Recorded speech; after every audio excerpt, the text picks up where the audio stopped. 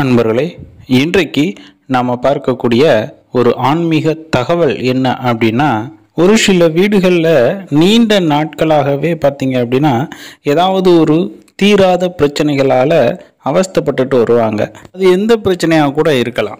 ஒரு சில பேருக்கு நல்லா வாழ்ந்திருப்பாங்க. ஆனால் எல்லாத்தையும் இழந்திருப்பாங்க. ஒரு சில பேர் அவங்க கூட உள்ளவங்களே ஏமாற்றி எல்லாத்தையும் பிடுங்கிட்டு விட்டுருப்பாங்க. ஒரு சில வீடுகளுக்கு செய்வினையால் அந்த குடும்பமே அழிஞ்சு போய் தீராத பிரச்சனையாகவே இருக்கும். ஒரு சில பேருக்கு சொத்து தகராறு பிரச்சனை தீராத பிரச்சனையாக இருக்கும். ஒரு சில பேருக்கு கடன் பிரச்சனைகள் வந்து தீராத பிரச்சனைகளாக இருக்கட்டும். இது போல் தீராத பிரச்சனை எதுவாக இருந்தாலும் சரி அதை வந்து சரி செய்யக்கூடிய ஒரு அற்புதமான பரிகாரம் ஒன்று இருக்குது இதை வந்து அங்காளினி சாந்தி பரிகாரம் அப்படின்னு சொல்லுவாங்க. இந்த அங்காளினி சாந்தி பரிகாரத்தை செய்வோருக்கு அங்காளி என்று நாமம் பெற்ற அங்காள பரமேஸ்வரி வீரமாக துணை வந்து இந்த பிறவி கடலை கடப்பதற்கு துணை புரிவாள் அப்படின்னு சொல்லுவாங்க.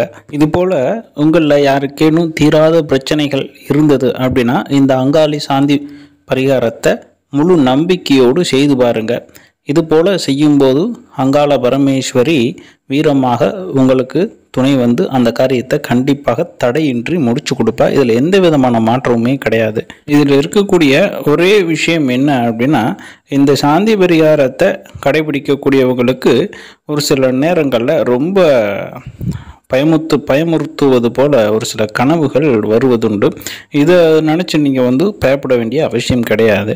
சாந்தி பரிகாரத்தை முடிஞ்ச வரைக்கும் பாதிக்கப்பட்டவங்க செய்யுங்க. அப்படி பாதிக்கப்பட்டவங்கனால செய்ய முடியாத பட்சத்தில் அவங்களுக்கு பதிலாக அவங்களுடைய ரத்தம் சம்பந்தப்பட்ட உறவுகள் யாரேனும் இந்த பரிகாரத்தை கடைபிடிக்கலாம். இந்த பரிகாரத்தை செய்யக்கூடிய முறைன்னு பார்த்தீங்க அப்படின்னா ஒன்பது சனிக்கிழமை இந்த பரிகாரத்தை கடைபிடிக்கணும். இதற்கு என்ன பண்ணணும்னு சொன்னால் சனிக்கிழமை அன்றைக்கு விடியற் காலையிலே எழுந்து சுத்தபத்தமாக குளிச்சுட்டு ஒரு வெள்ளை துணி ஒன்று தரையில் விரிச்சிட்டு அங்காள பரமேஸ்வரியை மனமாற வேண்டிட்டு அவங்களோட பூஜை அறையில் விளக்கெல்லாம் போட்டுருங்க. போட்டுட்டு ஒரு வெள்ளை துணியை ஒன்று தரையில் விரித்து அதில் ஒரு கைப்பிடி நெல்லை கொட்டி அதாவது நெல் இருக்கு இல்லையா? அந்த நெல் வந்து ஒரு கைப்பிடி அந்த துணி மேலே போடுங்க. போட்டுட்டு ஒரு எலுமிச்சங்கனியை ஒன்றும் அந்த நெல் மேலே வைங்க. வச்சுட்டு அது கூட மஞ்சள் கிழங்கு இருக்குங்களா? அது ஒன்று வைங்க. வச்சுட்டு குங்குமம் ஒரு டப்பா. இல்லை அப்படின்னா ஒரு பேப்பரில் குங்குமம் கொஞ்சம் மடித்து அந்த அது கூட வச்சு அந்த துணி முடிச்ச வந்து ஒரு மூட்டை போல் கட்டிடுங்க கட்டிட்டு இதை உங்களுடைய பூஜை அறையில் வச்சுட்டு அதன் பிறகு காலையில் உணவு எடுத்துக்கிறாம விரதம் இருந்து மதியம் வந்து ஒரு ஏதாவது ஒரு வகையான ஏதாவது ஒரு சாதம் ஒன்று செஞ்சு அதை வந்து பூஜை அறையில் தெய்வத்துக்கு ஒரு சின்ன இலையில வச்சு படைச்சிட்டு எந்த சாதமாக இருந்தாலும் பரவாயில்ல. இது வந்து விதவிதமான சாதங்கள் படைப்பாங்க. சரிங்களா?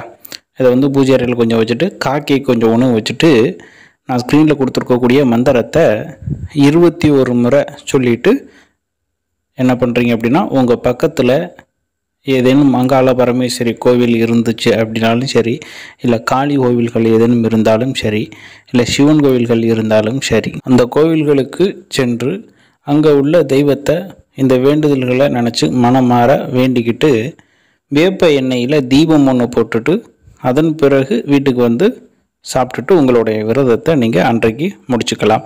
இதே போல் ஒன்பது சனிக்கிழமைகள் இந்த விரதத்தை நீங்கள் தொடர்ந்து கடைபிடிச்சிங்க அப்படின்னா நீங்கள் நினச்சிக்கிட்டு இருக்க எப்பேற்பட்ட விஷயமா இருந்தாலும் அது நடக்கும்.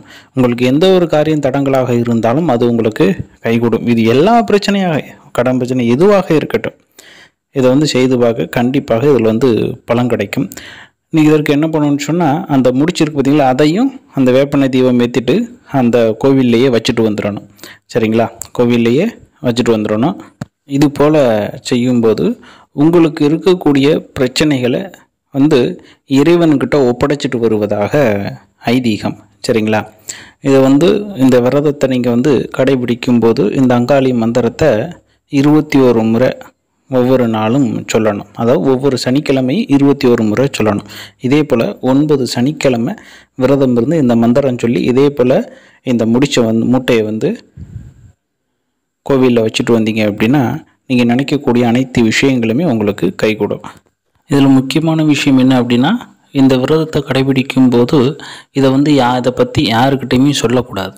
சரிங்களா? இதை பற்றி யாருக்கிட்டையுமே நீங்கள் வந்து பகிர்ந்துக்கிறக்கூடாது. உங்கள் குடும்பத்தில் இருக்கவங்கள தவிர தீராத பிரச்சனையை அனுபவிச்சுட்டு இருக்கக்கூடிய நபர்கள் அனைவரும் இந்த பரிகாரத்தை கண்டிப்பாக செய்து பலனடையணும் அப்படின்னு நான் வந்து மனசார மகாகாலியை நான் வந்து வேண்டிக்கிறேன். இதுபோல் ஆன்மீக விஷயங்கள் மாந்திரிக விஷயங்கள் பரிகார விஷயங்கள் அமானுஷ்யங்களை பற்றிலாம் தெரிஞ்சுக்கணும் அப்படின்னா நீங்கள் நம்மளுடைய காளி மாந்திரிகம் யூடியூப் சேனலை மறக்காமல் சப்ஸ்கிரைப் பண்ணுங்கள் ரொம்ப ரொம்ப நன்றி. வணக்கம்.